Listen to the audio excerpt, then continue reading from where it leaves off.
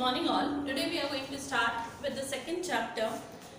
In the last lecture we had started or I had explained you the summary related with the portrait of a lady.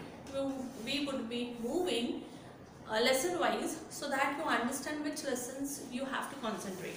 In unit number one we would be dealing with the three lessons portrait of a lady, youth and the task ahead and eyes are not here. You can skip the fourth lesson that is the virtue.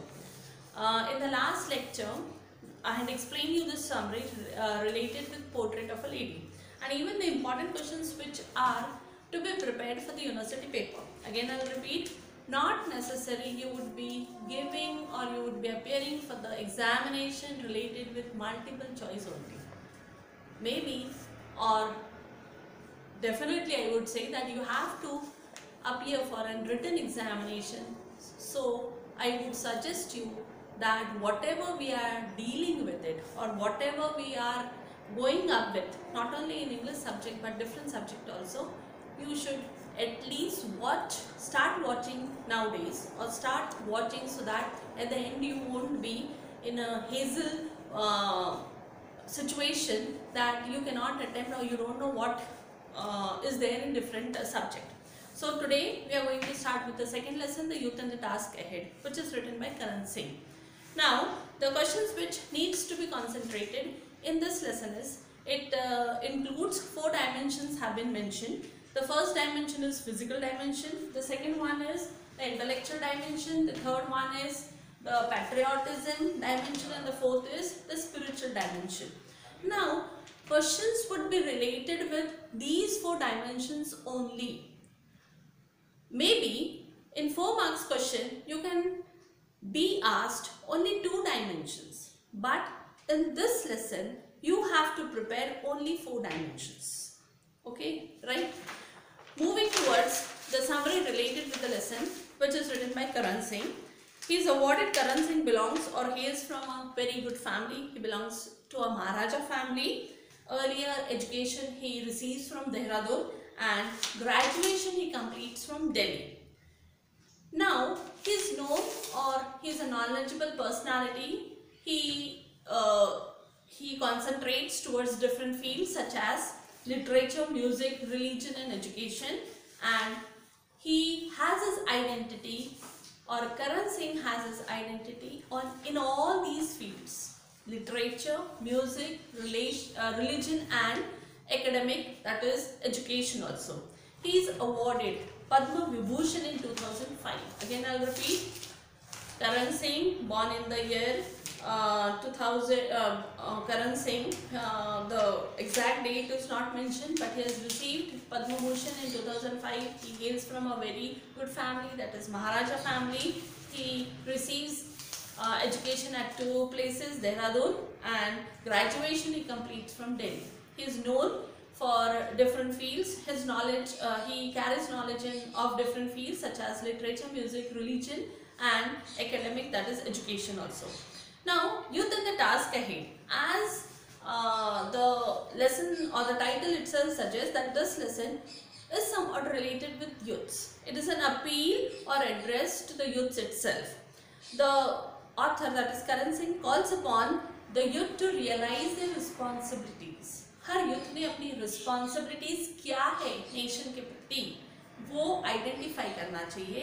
हम क्या कर सकते nation के लिए? What can a single individual do for a nation he should think he should give his best for his nation so this lesson youth and the task ahead is an earnest appeal और it is an address to the youth Karan Singh calls upon uh, the youth to realize his responsibilities towards.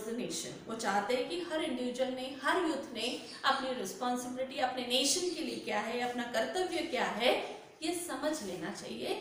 और वो समझ के जितना वो कुछ दे सके nation के लिए वो आगे दे के उन्होंने बढ़ना चाहिए। Now the first duties of a youth the things which needs to be concentrated youth की ड्यूटीज़ क्या है रिस्पॉन्सिबिलिटीज क्या है। The youth should imbibe patriotism की भावना आनी चाहिए आइडलिज्म की भावना होनी चाहिए एंड सोशल ऑब्लिगेशंस उन्होंने अपने समझने चाहिए नेशन के लिए या एक दूसरों के लिए क्या है।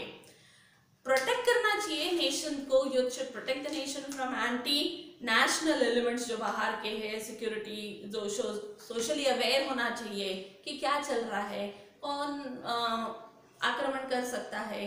या who can put us in danger so anti national elements से नेशन को क्या करना चाहिए to protect the nation from anti national elements and safeguard democracy and secularism. So these are the responsibilities or duties of a youth.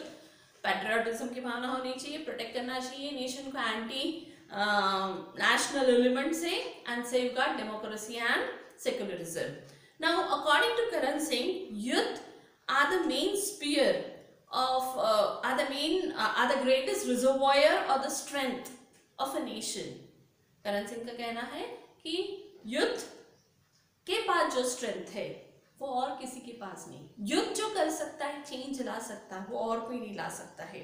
So you should realise his physical intellectual spiritual and patriotic power so that that can be use for the development of the nation her individual ने physical strength अपनी जाननी चाहिए intellectual strength क्या है खुद की अपनी वो पहचाननी चाहिए स्पिरिचुअल एंड पेट्रियाटिक की भावना होनी चाहिए ताकि वो नेशन को क्या कर सके प्रोटेक्ट कर सकते they are the leaders in of various spheres उन्होंने खुद ने लीड लेना चाहिए उन्हें खुद पता है कि they can lead up and they can become leaders of different different spheres. They should build upon the principles of secularism and democracy and you should safeguard himself and society. Therefore, train themselves physically or intellectually उन्होंने and spiritually अपने आप को खुद को क्या करना चाहिए trained up करना चाहिए.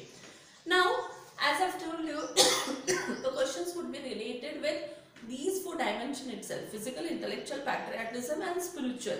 Now we would be leading one by one. The physically strong youth रहना चाहिए and if a youth is physically strong he can define he can defend their nation from any kind of aggression वो protect कर सकता है nation को और कोई भी aggression से अपने nation को क्या कर सकता है बचा सकता है फिजिकली फिट रहा तो जैसे हमने कहा कि इनसाइड एंड आउटसाइड एग्रेशन बाहर से आक्रमण हो या अपने ही इनसाइड एग्रेशन जो भी आक्रमण कर रहा है वो बचा सकता है अपने नेशन को।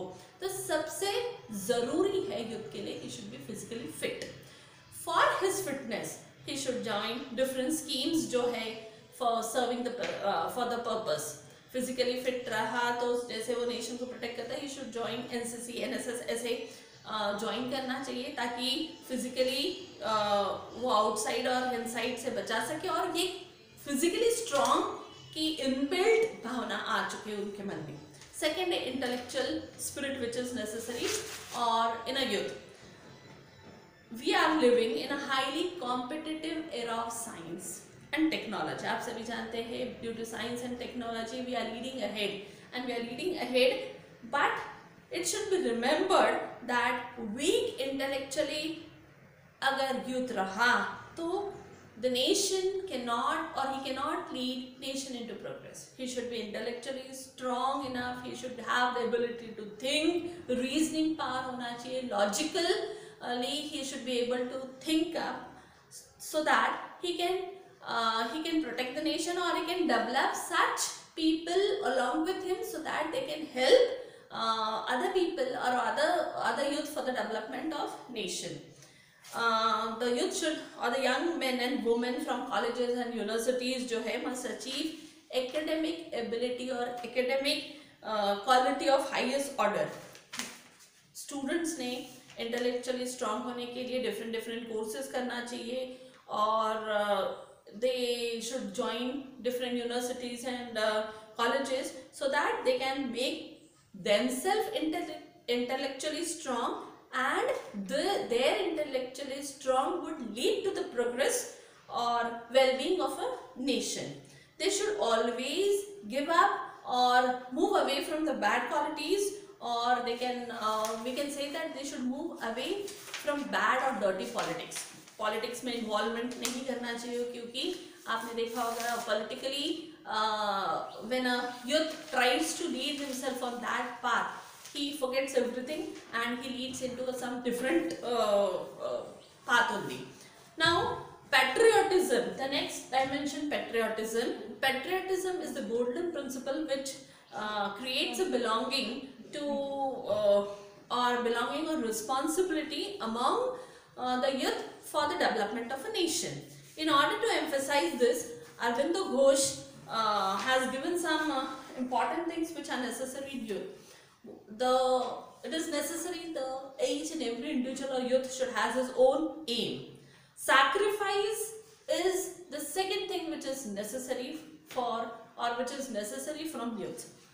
Youth should sacrifice the thing which he uh, which is very close to him also that that uh, a time may arrive that young the a youth uh, must a youth uh, has a need or there is a need for youth to make a choice between his uh, close uh, choice choosy thing so ऐसे youth ने खुद को ऐसे prepare करना चाहिए कि best of best things also should be sacrificed by a youth uh, he must study for the nation उसने nation के लिए पढ़ना चाहिए must live for the nation he must uh, ready to render any service for the nation and the sacrifice which is needed would be or the sacrifice which is needed for from the youth is uh, is of highest order sacrifice from young people they should be ready to sacrifice everything for their motherland ये